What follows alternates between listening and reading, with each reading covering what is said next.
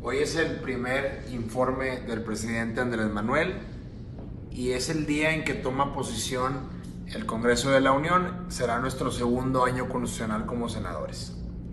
Quiero mandar un mensaje a todo México.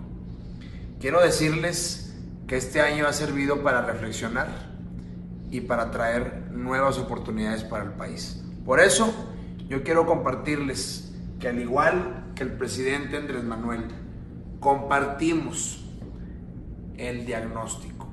Creemos que México sufre y sigue sufriendo de injusticias, de corrupción, de desigualdad, de pobreza, de inseguridad. Muy malos gobiernos, pésimos gobiernos de regímenes anteriores nos llevaron a este colapso. Por eso queremos que le vaya bien al presidente y que este segundo año sea mejor.